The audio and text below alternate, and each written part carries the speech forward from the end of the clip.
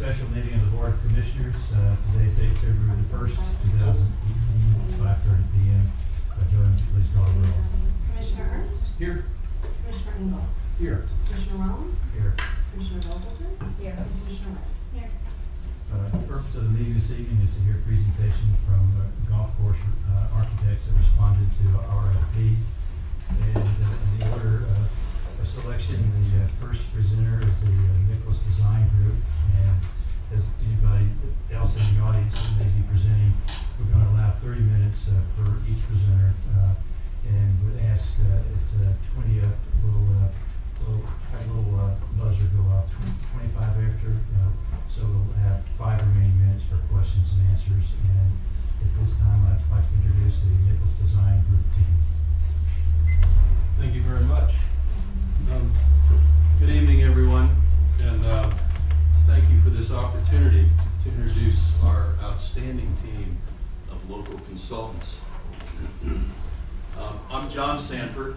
I'm the owner of Sanford Golf Design and also the president of the American Society of Golf Course Architects. Um, My firm will manage the project with all the consultants through, through design and construction. And we will collaborate with Nicklaus Design on the golf course design. Um, I'd like to go ahead and, and introduce the team, um, and the organizational chart. Yeah, right here. Perfect. Um, so we'll, we'll start on the left side here with, with Kimley Horn. Here tonight, uh, from that firm is Jonathan Hay. Um, Kimley Horn, as you probably know, is a, a, a very well-known engineering, land planning, and landscape architecture firm. Um, in this particular project, Jonathan will be heading up any of the land planning and landscape architecture for the project. Um, next is Ingenuity, um, engineering, permitting, and surveying. Here we have uh, Lisa Tropepi representing Ingenuity on the, on the engineering side, and also we have Andre Raymond um, here on the surveying side.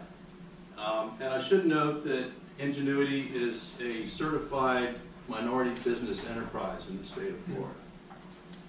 Uh, Next up is our clubhouse architect, uh, Mr. Brian Idle from Peacock and Lewis. I think you folks are familiar with Brian at this point. Uh, We're actually going to give him a speaking part tonight, so I I know he's excited about that. Um, On the far end is the Pignato Group Irrigation Consultants. Mike Pignato and his group have um, designed over 300 irri- golf course irrigation systems um, in their, in their career. Um, And last but certainly not least is the Nicklaus Design Team. And uh, probably needless to say, but the Nicklaus Design is recognized around the world as the top golf course architecture brand in the business. Um, Here with the Nicklaus Group is Chad Goetz, Design Associate. And we also have Scott Tolley, Director of Communications. Scott will say a few words. And then Ray Ball, uh, Director of Business Development. Go ahead, Ray. Um, Let's go one more, please. So, we, this team has deep roots in Palm Beach County. We've all been here, lived here, grown up here for decades. And because of those roots, we've all worked together on various projects over the years. A Couple of examples of that would be Trump Golf Links at Ferry Point that my firm and the Nicklaus firm uh, collaborated on. Um, It's a reclamation of a landfill in the Bronx, very successful project. On the top right, North Palm Beach Country Club, a public facility that uh, Nicklaus and Peacock and Lewis have worked on, and Peacock and Lewis is actually working on that clubhouse now. Uh, Banyan Cay Resort and Golf in West Palm Beach was a, a recent redesign that we did in collaboration with Mr. Nicklaus. And then um, Naples Beach Club over in Naples, of course, uh, we, it was another collaborative project that we did just a year ago, a redesign of an existing golf course. Um, and then just another list of team experience, all projects that our team has collaborated, collaborated on previously. Um, so with that introduction, I'd like to introduce Scott Tolley to talk to you about the Nicklaus brand and vision. Hope you don't mind if I stand back by here. This is gonna actually hold me up a little bit, so.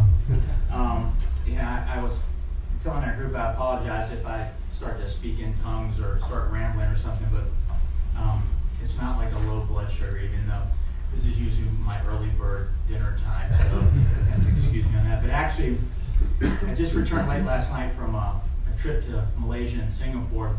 We flew forty-five hours, and we were on the ground for thirty-six hours. And I don't tell you that just to feel sorry for tell you because there was a huge storm, we were coming back. About four hours from landing, the pilot comes back and goes with Mr. Nicklaus, and he goes, uh, Mr. Nicklaus, he goes, are you looking forward to, to getting home? And he goes, I always look forward to getting home and to being home. I tell you that because, as John was nice enough to say, we are the global leader in golf course design. We've done 415 courses in 45 countries, and this spring will be 40 states. Um, but nothing gives us greater satisfaction, joy, excitement, enthusiasm, motivation than working right here at home in our own Palm Beach County backyard. And it is our backyard. Um, Mr. Nicklaus has been a resident of Florida for, well, since 1965. So I might not be great at math, but that's a long time. So, um, and, and while he's known as sort of Ohio's favorite son, he's a Floridian. Um, if I could get you to move on, there we go. You know, they, as I said, they've lived in Palm Beach County for 53 years. You know, they're not snowbirds, they're not seasonal residents or someone who says I, I winter in Palm Beach. Um, they live here year round. They're Floridians. And so we're honored, humbled, and honestly thrilled to have this opportunity to work with you on the renaissance of the Boca National. Um, growing the game and giving back to the game is at the foundation of everything we do at Nicklaus. Jack's not only the greatest champion in the history of the game, um, his iconic status, his name, his brand transcend that game. He was at the forefront of creating the PGA Tour 50 years ago. He founded the prestigious Memorial Tournament, one of the PGA Tour's top events. He was instrumental in getting golf back into the Olympics after a 112 year, 111 year absence. And he helped create and grow the first tee. Go ahead. He's the only person in history to win both the Congressional Gold Medal and the Presidential Medal of Freedom, which is our nation's highest honor for a civilian. And I've actually got some replicas of the Congressional Gold Medal that I will be handing out because they make great ball markers for the new Boca National. All right? I want you know that. There will be parting gifts. It's like a game show. Um, but in this year, he's actually going to add the trifecta. In June, he's going to be getting the Lincoln Medal. So, um, pretty distinguished company there. But you can also see he's also used his platform to give back to the state of Florida, and they have recognized him for it. He was Florida's Athlete of the Century, but also he was honored by the House of Representatives as a- as a distinguished Floridian. So, Go ahead, Ray. Know, I'm not going to go through all this, but, you know, we are a, a Florida-based, North Palm Beach-based company.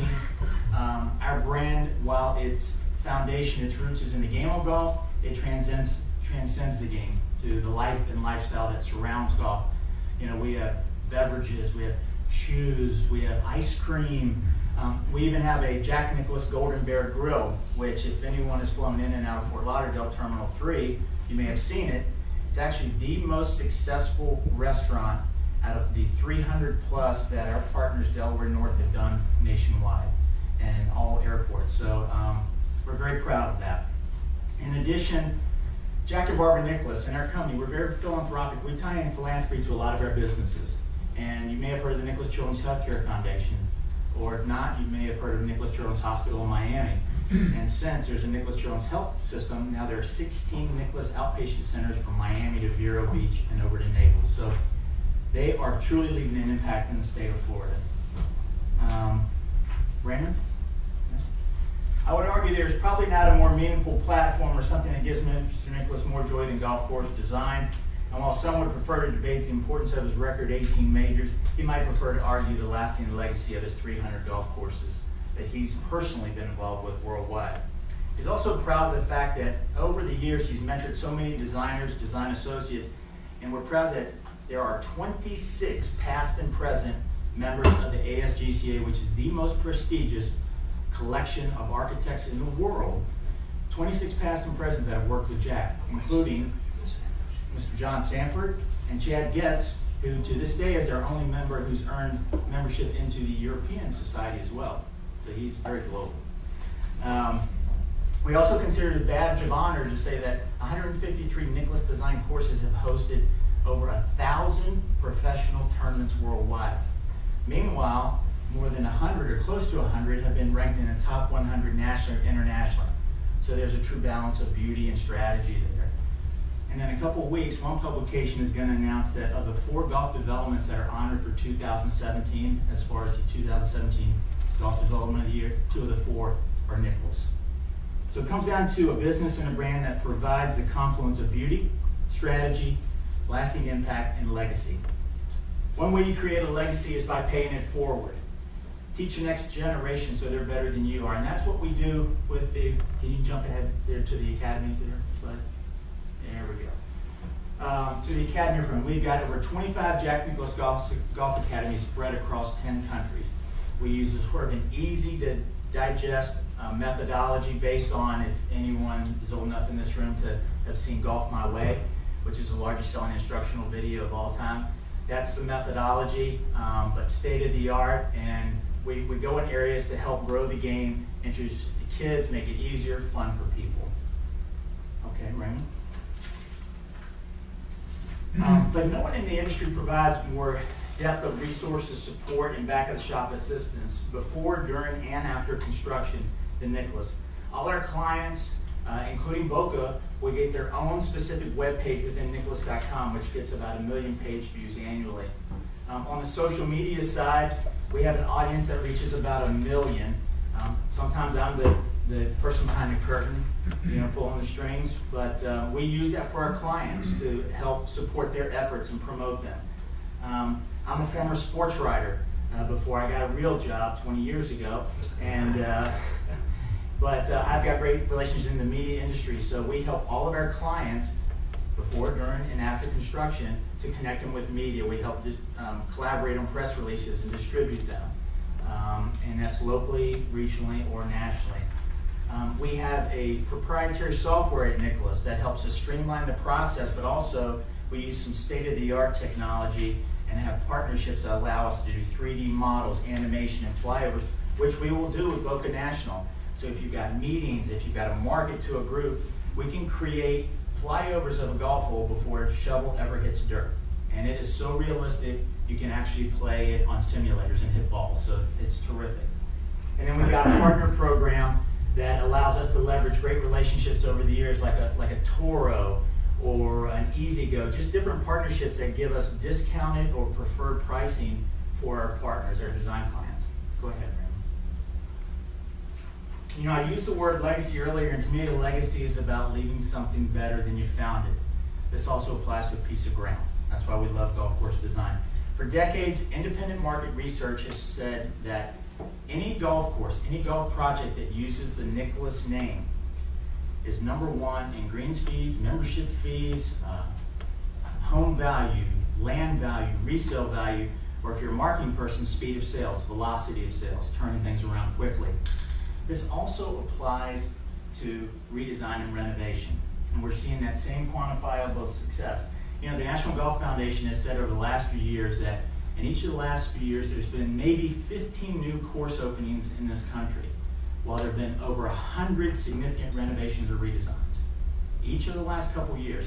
That shows you that people are trying to reinvent themselves, reimagine themselves, and create a renaissance. And that also means you've got to keep up with your competition. You can't, if you've got a great product, you can't just sit there and rest on your laurels. We have a project outside of LA. It's not up here, but it's called Sherwood Country Club. A lot of stars there, Sean Connery, Wayne Gretzky, all these people. It's already successful. The year before we went to renovate it, um, they had sold seven memberships and lost eight. Then in the nine months after the renovation was open, they added 60 new members, they're sold out, and they were able to increase their membership fees by 20%. That's impact. Now at Banyan Cay, which John mentioned, we took a 50-year-old Trent Jones golf course that had been redesigned by Trent Jones II about 10 years ago totally redesigned it, and in that envelope, created a brand-new golf experience. The result, when it opened in November, they're ahead of projections in membership sales and pricing. Raymond? Trump, uh, John mentioned it, we put this up here because we worked on this as a team. You can see all the awards there. Took a solid waste landfill, an eyesore to the Bronx and to the city of New York, and totally turned it into a source of pride and green space. And great views there, Whitestone Bridge, Manhattan skyline. Rain? You mentioned Naples. Um, this golf course actually was one that, uh, albeit iconic, it was tired. It was first opened in 1946. John, I think you might have hit the Anarco Tea shot, right? Uh. But I know that coat was there. But, um, but we took it, yeah, we took it, renovated, redesigned it with John, and now they have tripled their fees, tripled their re- revenues. That is measurable impact. Cool thing is, that's where Jack first broke forty when he was age eleven, with a double bogey. Royal Palm, right up the road here, we mentioned this because when we were called in about 15, 16 years ago, they actually had more members dying each year than they had joining. That's scary. We came in there and you can see the numbers and the success has been incredible. We actually had CNN International come and use this as a profile of the impact of renovation and redesign. Okay? Bear's Paw, I'll let you read through this because you got the, the handout, but one of the things, and this was just done over the last year, so they were an award winner as far as a renovation of the year, and they've increased their revenues by forty percent. And this is one that already was sold out on memberships because it's tied to housing. But there are ways you can impact a project in all the measurable ways, and that was one?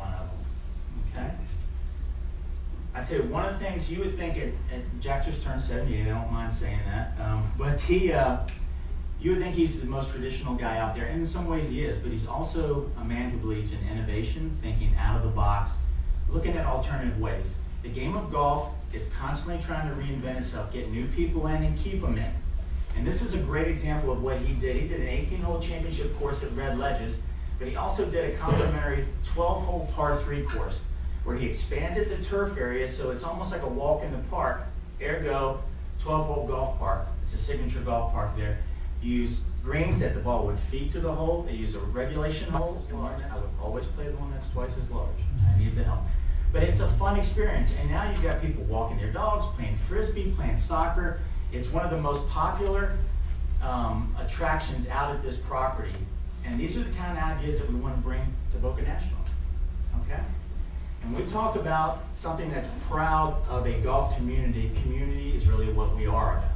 There's so many ways that even though we're trying to create for you a world-class public golf course, that you do not lose sight and divorce yourself from your community. You can embrace your community while being world-class. There are ways to do it. You can, um, you can design a, a world-class or great learning facility. Um, Jack is a trustee of the First Tee.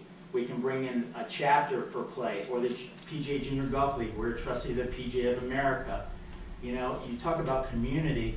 You've got a program at Florida Atlantic University that's just burgeoning. It's incredible, and we've already have a history working with the, the men's golf program. Coach Angelo Sands has become a great friend.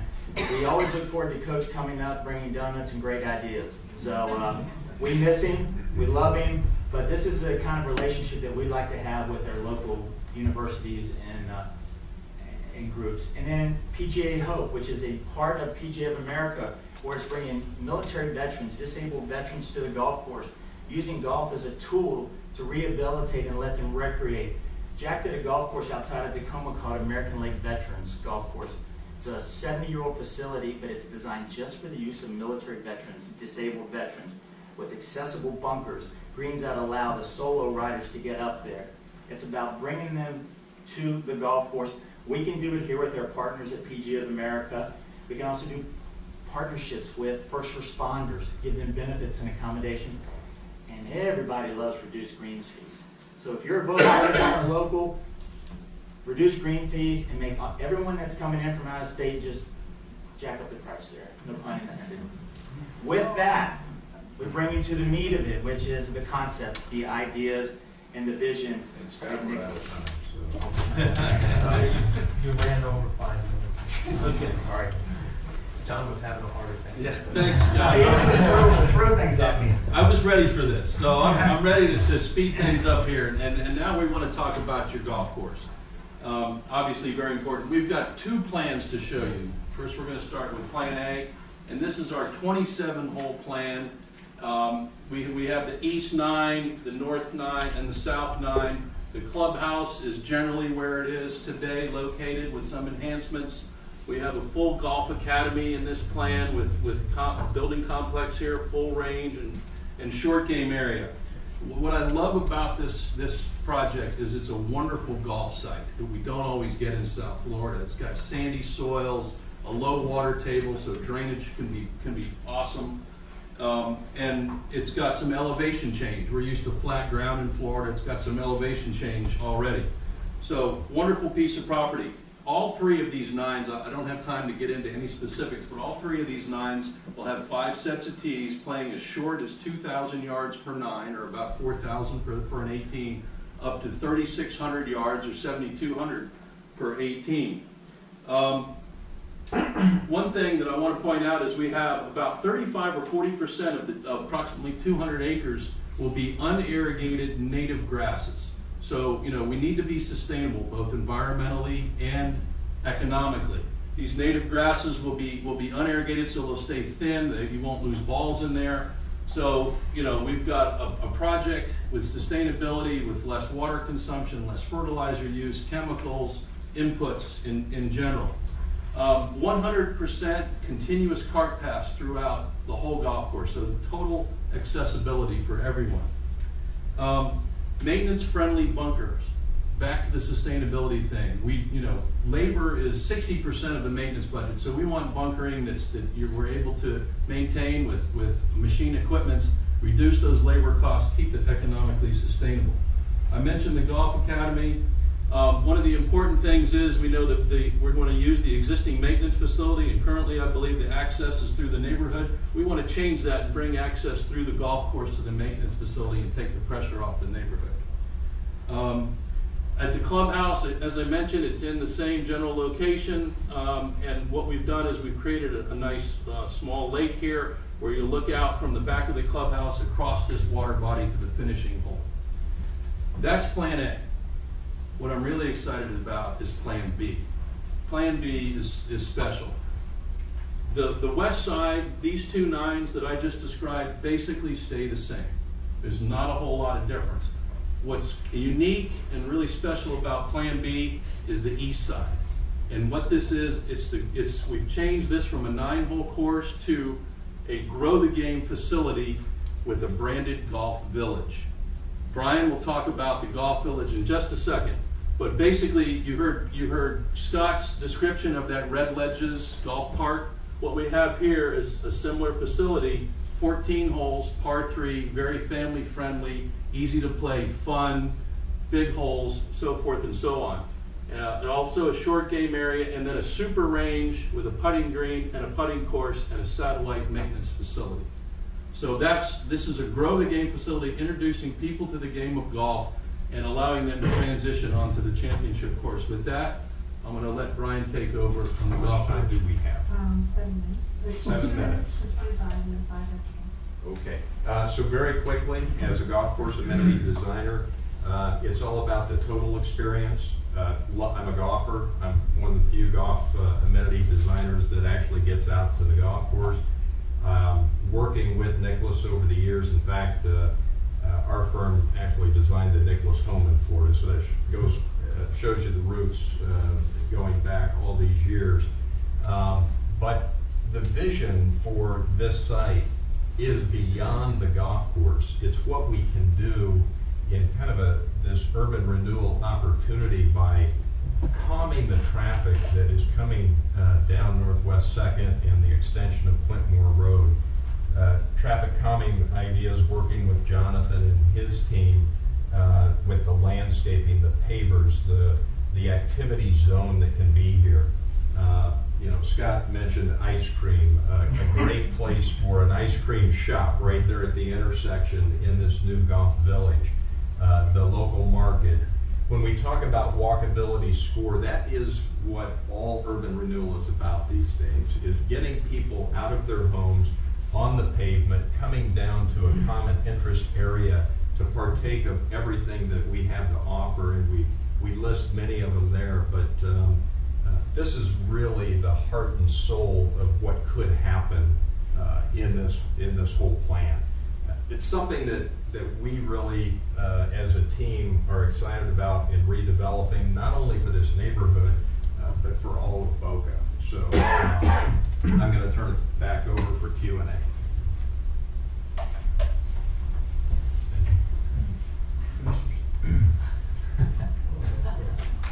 We packed a lot in Well, there. I'll start. Um, Let's start with just uh, the Nicklaus name and design and all that. Um, We're, we're looking to satisfy a need for a community. It's municipal, it's not, um, you know, countries or anything like that. How can we afford these and what is that?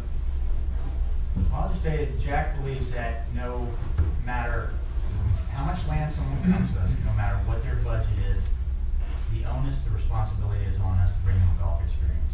So we are always able to amend, adjust our fees, work out something that makes sense for the client, and we would do that here. Uh, we want this,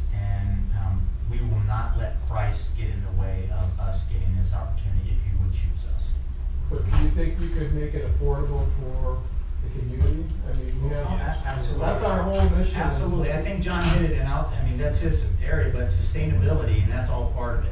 Yeah. So, I, I live at the North Palm Beach Country Club, and the beauty of what the success we've had in North Palm Beach is that sixty percent of the play is from walk-in play, affords a local resident a very affordable experience on the signature golf course. It's, the numbers are uh, staggering.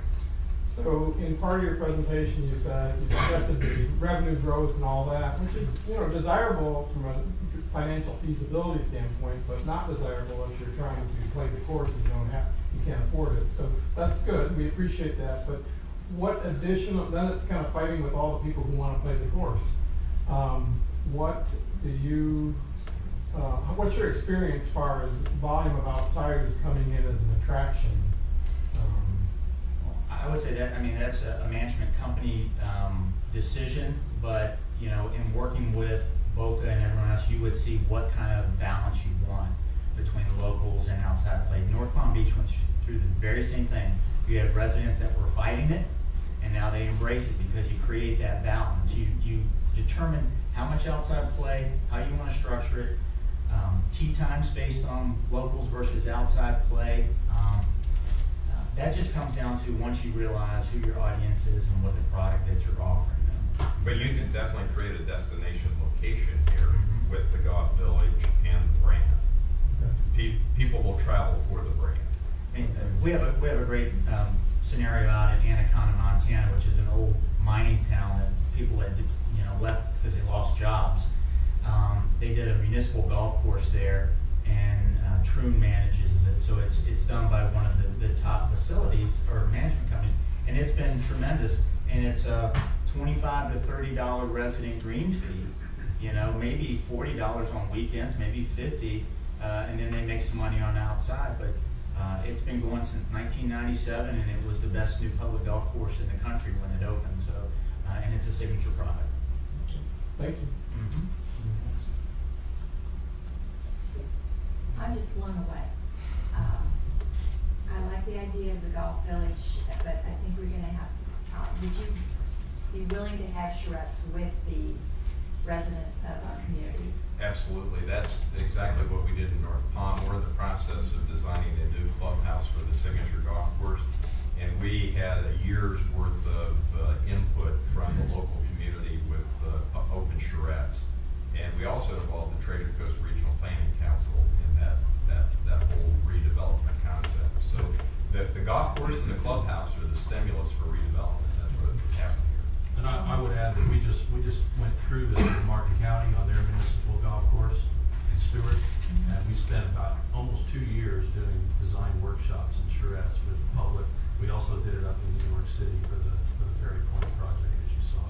Well, it's important, uh, we have a lot of our community here, and, um, I, I know that they're gonna like to have some, some input Do into we want to hear? And it's a fun process. It really is. It, we believe in a collaboration. This is, we're not designing for our egos, Jack Nicklaus's ego or anything. This is to service you. That's the end, end game is to provide you a product that services your needs. And in this case, the client is the community. That's right. I noticed in your perspectives, you mentioned uh, several different uh, options. that, uh, You have a Jack Nicklaus uh, signature course, a legacy, and uh, Nicklaus the second uh, signature course. What's the difference in those uh, presentations? It's usually, it's, uh, it's fee-based, uh, involvement-based. Um, let's just say we exercise a lot of flexibility, but there are certain markets, when you go around the world, that just don't warrant, um, you know, I would say a Jack Nicklaus signature golf course. You know, it's, maybe it's a new emerging market that just needs a Nicklaus design course, maybe just to introduce the game of golf. So it all it's based on market, demand, budget, um, but that those tiering gives us the flexibility to respond. We don't have one product offering where we say, well, we priced ourselves out of the mix. Yeah. Thank you. Mm-hmm. Last shot. See. No, I'm good. Okay, good. Gentlemen, thank you very much for the exciting project. Thank you. Thank you.